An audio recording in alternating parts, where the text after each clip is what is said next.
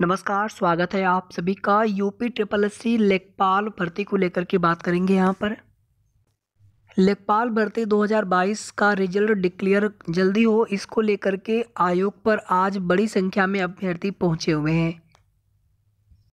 इसके पहले Allahabad high court में रांग क्वेश्चन वाला मामला, यानी रिवाइज्ड आंसर की में कुछ प्रश्नों को रांग मानते हुए या फिर उनके आंसर को रांग मानते हुए वहाँ पर जो कुछ भी आपत्ति की गई थी तो सभी मैटर कोर्ट से फाइनल हो चुके हैं।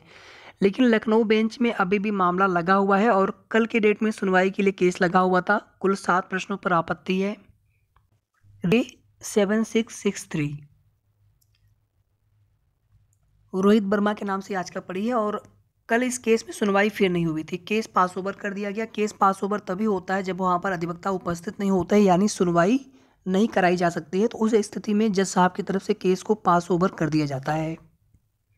और ये लगातार चौथी डेट पर केस पास ओवर हुआ है। बाकी अभी यहाँ पर कोई भी नेक्स्ट हियरिंग डेट नहीं शो हो रही है तो जब भी नेक्स्ट हियरिंग डेट शो होगी, आप सभी को बता दिया जाएगा, लेकिन यहाँ पर सवाल ये है कि इसमें सुनवाई क्यों नहीं कराई जा रही है? इलाहाबाद हाईकोर्ट से मामला फाइनल हुआ है, लेकिन लखनऊ बेंच से भी मामला फाइनल होना चाहिए। इसमें आयोग की तरफ़ से जवाब लगाया जाना है, हलफनामा लगाया जाना है, और उसी के बाद से ये मैटर पर जो कुछ भी डिसीज़न होगा, माननीय न्यायालय की तरफ़ से वो देखने को मिलेगा।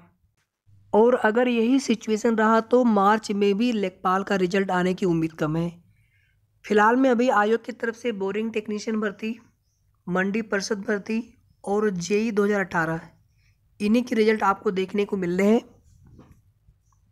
जिसमें सबसे पहला रिज़ल्ट आपको बोरिंग टेक्नीशियन का देखने को मिलना चाहिए और इसी के साथ जूनियर असिस्टेंट 2019 भर्ती की डिपार्टमेंट की लिस्ट भी फरवरी के महीने में, यानी इसी महीने के लास्ट तक देखने को मिल जाएगा। इसके अलावा तेईस तारीख से जेई 2016 भर्ती में डीबी भी स्टार्ट है और UDA, LDA supply, UDA, LDA भर्ती में जो अभ्यर्थी हैं, उनके ज्वाइनिंग की प्रक्रिया भी शुरू हो चुकी है, ज्वाइनिंग होने लगी है। इसके अलावा अभी जो प्रोविजनल वाला मैटर है, चाहे ए एन एम बानवे बारह भर्ती में या फिर जूनियर असिस्टेंट 2019 भर्ती में या फिर लोअर 2019 भर्ती में, अभी ये कार्य भी आयोग की तरफ़ से होना है और नेक्स्ट मंथ से नए विज्ञापन भी आप सभी को देखने को मिलने स्टार्ट हो जाएँगे। अगर आप यहाँ पर देखेंगे तो ये पूरी अपडेट ऑलरेडी आप सभी को पता है। इसमें कोई अलग से कुछ बताने वाली चीज़ है नहीं कि इसमें क्या हुआ था। इलाहाबाद हाई कोर्ट में उन्नीस सौ दो सौ चौंतीस वाले पर माननीय जज साहब की तरफ़ से जो कुछ भी इसमें डिसीज़न सुनाया गया था, जो कुछ भी कोर्ट ऑर्डर आया था तो उसकी बातें ऑलरेडी आप सभी को बता दी गई हैं कि उसमें उज्ज्वला वाले क्वेश्चन पर जिन्होंने भी ऑप्शन डी किया होगा, इनमें से कोई नहीं वाला। आप अपने सीरीज़ के हिसाब से देखिएगा तो इनमें से कोई नहीं वाला जिन्होंने भी ऑप्शन टिक किया था, उन्हें भी एक नंबर देने का आदेश है।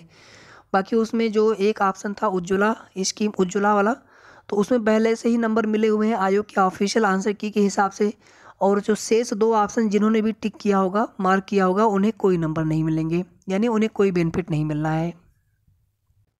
तो आज देखते हैं, आयोग पर बड़ी संख्या में अभ्यर्थी पहुँचे हुए हैं तो आयोग के सचिव सर या फिर अध्यक्ष सर की तरफ़ से क्या आश्वासन मिलता है, कब तक रिज़ल्ट डिक्लेयर कर देंगे?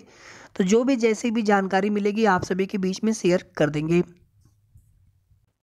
धन्यवाद।